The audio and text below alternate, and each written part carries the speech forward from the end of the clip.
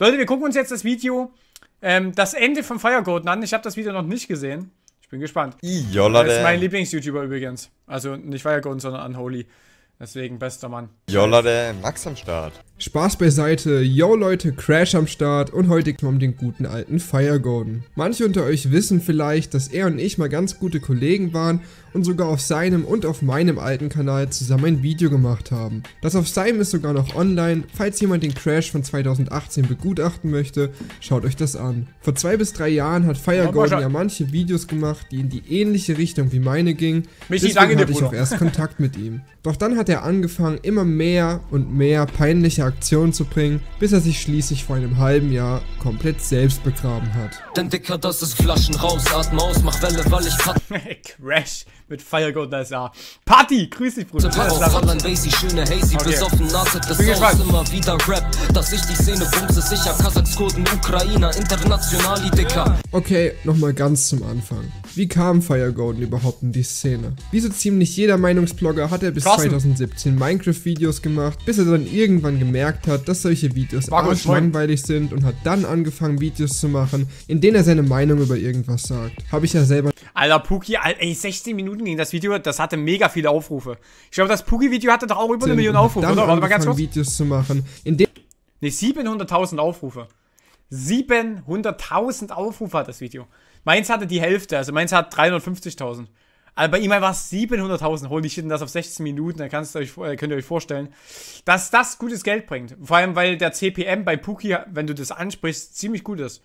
Also den er seine Meinung über irgendwas Das sagt. Habe ich ja selber nicht Euro. anders gemacht. Naja, und kaum hatte er seinen Content gewechselt, begann es die Klicks und Abos zu hageln und er knallte ein Video nach dem anderen über irgendwen raus. Phil, Let's go, Simon weitergucken. Simplicissimus, Unge, Tanzverbot, KS Freak und so weiter. Ich könnte wahrscheinlich noch 5 Minuten aufzählen. Jetzt mal ehrlich, gibt es überhaupt wen, gegen den er kein Video gemacht hat? Es ist nämlich nicht der Sinn von solchen Videos, gegen jeden nur erdenklichen YouTuber zu schießen, sondern gegen die zu schießen, die es auch wirklich verdient haben.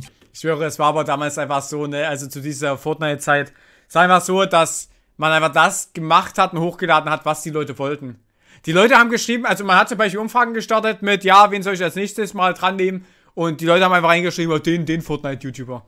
Also selber hatte man vielleicht gar keinen Bock auf den Fortnite-YouTuber, aber man wusste einfach, dass das Thema abgehen wird, deswegen auf ganz entspannt haben wir die Videos so rausgeballert, aber im Endeffekt ist es halt so, klar, man hat sich eine große Reichweite aufgebaut, aber man hat sich damit halt die Qualität komplett versaut und ist halt nur auf Quantität gegangen. Aber es Ja. hat ja gut Klicks gebracht. Dann gegen Ende 2017, Anfang 2018, als mein alter Kanal in die Höhe schoss, haben wir mal miteinander geschrieben und Nummern ausgetauscht, weil ich die Videos, die er in der Zeit gedroppt hat, echt nicht schlecht fand. Wer jetzt genau wen angeschrieben hat, weiß ich nicht mehr, das ist aber auch weniger relevant. Videos wie beispielsweise die gegen mir relativ egal, Zenix oder auch das mit mir gegen Corby, konnte man sich einfach ziemlich gut geben. Sie waren unterhaltsam, gut recherchiert und Aber eigentlich waren die auch mega monoton.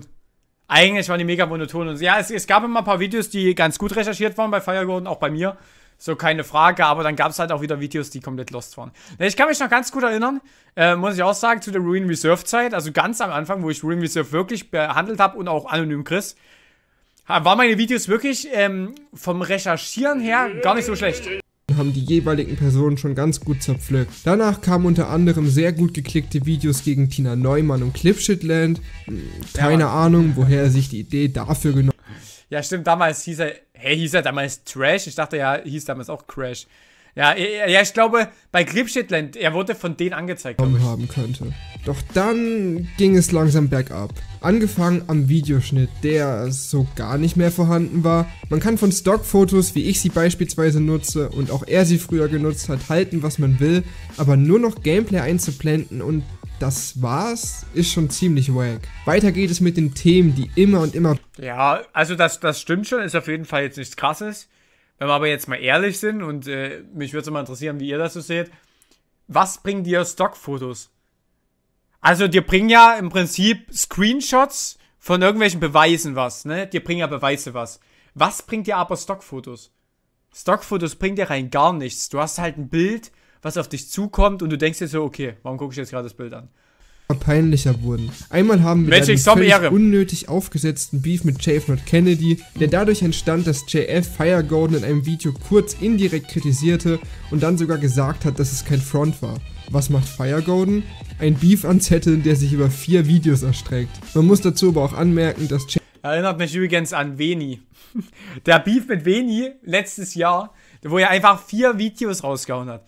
Also, wo ich mir so dachte, alter, Schl also, man, man kann Themen ausschlachten und dann macht das auch noch Spaß, aber bei ihm, das war halt schon von, Anfang- von Anfang an mega, mega langweilig. So, der macht halt einfach vier Videos darüber. JF Und Veni hat halt einfach komplett recht gehabt mit dem, was er gesagt hat. Das fand ich richtig stark. Wir. sich darauf eingelassen hat. Steini, Schlussendlich moin. hat es Klicks für beide gebracht. Und dann, ein Jahr später, wird Ja, Fire Mann. Gordon von wenig Ja, in einem Stream kritisiert. Was macht Fire Gordon daraufhin? Fucking fünf Videos gegen ihn mit einer Gesamtlänge von über 80 Minuten. Ist da möglicherweise jemand getriggert gewesen und macht aus reiner Emotion raus Videos gegen andere? Man munkelt. Als wäre das nicht schon peinlich genug, startet Fire Gordon Anfang 2019 den YouTube-Kanal Erfolgreiches Denken, wo er einem beibringt, erfolgreich zu denken. Dort gibt er einem beispielsweise folgenden Tipp, wie man sich verhalten sollte, wenn man beleidigt wird. So, du hast jetzt also gerade versucht, mich zu beleidigen, weil du nichts anderes zu tun hast. Jetzt wirst du versuchen, dich nach diesem Argument von mir da rausreden zu wollen,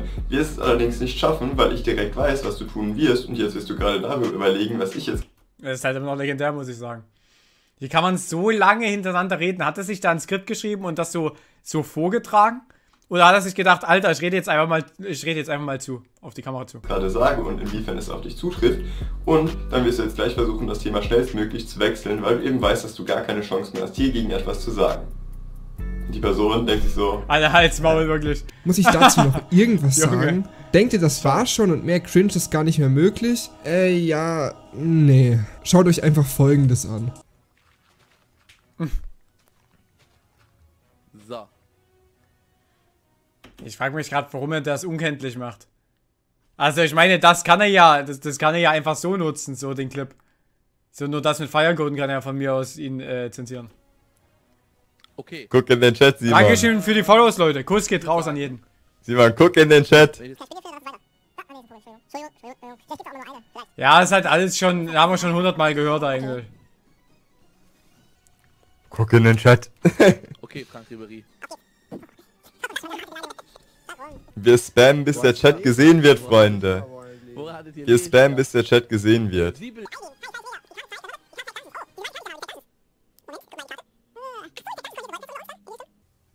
Simon, komm. Guck endlich in den Chat jetzt. Ich finde ehrlich, das ist richtig unangenehm anzuschauen. Was meint ihr? Der YouTuber Imp hat sich Fire Golden auch mal in ein paar Videos auf Lol. Mehl, Salz und Eierhoden habe ich mir noch nie angeguckt. Art und Ach doch, ach, ach warte mal, ach, das ist das Video? Nee. Nee, ist ein anderes Video, das habe ich ja noch nicht angeguckt. Weise vorgeknöpft und Kritik dargelassen. Fire Golden konnte damit allerdings gar nicht umgehen und hat daraufhin einfach mal durch einen Bot alle User auf Twitter blockiert, die Imp folgen. Da war unter anderem auch ich dabei, Ja, stimmt, ja, deswegen Mann. kann ich euch seinen wundervollen Twitter-Content leider nicht vorstellen. Doch kommen wir nun Das zu doch Fire stark. Gordons heikelsten Thema. Frauen. Leider hat er an einigen Stellen bewiesen, dass er nicht so ganz weiß, wie man sich in der Anwesenheit des weiblichen Geschlechts richtig verhält Warum zeigt er jetzt ein Bild von irgendeiner? Von irgendeinem Instagram-Girl? Hat das, grad- hat das einen Sinn? Ergibt das gerade einen Sinn, warum das Bild hier angezeigt wird?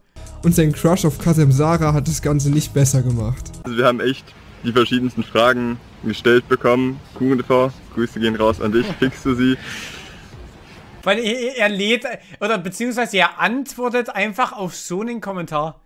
Junge, ich werde doch niemals einfach den Kommentar mit reinnehmen. Fix, also, sorry, aber wie, wie- kommt man darauf, den Kommentar vorzulesen, wo man weiß, dass man gleich hops genommen wird? So einfach, äh, sie, sie lässt es halt auch einfach drin, das finde ich übrigens auch stark. Aber er, er macht es einfach so. Ja, weiß ich nicht. Ja, vielleicht, hoffentlich. Nein. Junge, schwierig, Mann. Mr. Klenk, moin. Ich hab so gemacht. Nein. Bruder, Bruder, was wird das denn? Soll ich für Fire Gordon mal den Kanal Erfolgreiches Flirten aufmachen? Vielleicht könnte ich ihm damit weiterhelfen. Dann fragt der gute Feiergoden, bist du mit Feiergoden zusammen? In Klammern, geheime Liebesgeschichte. Und Nein, Leute, ich muss euch leider enttäuschen, ich bin nicht mit Firegoon zusammen. Also jetzt abgesehen davon, dass Max die Frage selbst gestellt hat, aber es kommt echt so oft vor, dass ich das gefragt werde und ich verstehe einfach nicht warum. Hm, wieso könnten das so viele Nee, Leute Markus gedacht nicht, haben? Vielleicht deswegen Endlich, aber schickt dann auch die Nudes von selbst. oder deswegen Was sagt kurz eine Sache, damit wir aufnehmen? Alter. oder vielleicht weil du ihr die Frage selbst gestellt hast, du Dulli. Ach, Firegone. Warum machst du das alles nur? Vor sieben Monaten hat sich Firegolden zwar in einem Video entschuldigt und gesagt, er würde sich ändern, Das Video, das Video war wirklich gut, es war auch gut gestaltet. Danach kamen aber nur noch ein paar mehr oder weniger langweilige Videos Ja. und das war's. Seit einem halben Jahr kommt gar nichts mehr und so hat sich Firegolden letztendlich komplett selbst begraben. Eigentlich ist das ziemlich schade, da vor allem 2018 mal echt Potenzial in seinem Kanal gesteckt hat, aber das, was er daraus gemacht hat, ist einfach nur noch peinlich. Hätte er nur selber mal erfolgreich gedacht und es nicht versucht anderen beizubringen, dann wäre es vielleicht noch was geworden.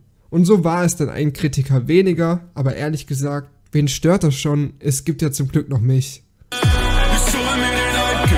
Ja, ich muss halt sagen, dass, äh, Netflixen, okay. Ähm, ich muss sagen, es ist okay, so das Video. Ich, ich finde es jetzt aber nicht halt überkrass, also so vom Schnitt her ist es auch in Ordnung, aber keine Ahnung, ich weiß nicht, hier wurde halt schon alles genannt, wa- was auch schon 10.000 Mal angeschaut wurde. Ich meine, jeder weiß, dass es damals äh, so übertrieben oft äh, sich drüber lustig gemacht wurde. Es, ja, es war halt einfach nur nochmal zusammengefasst. Heute gibt es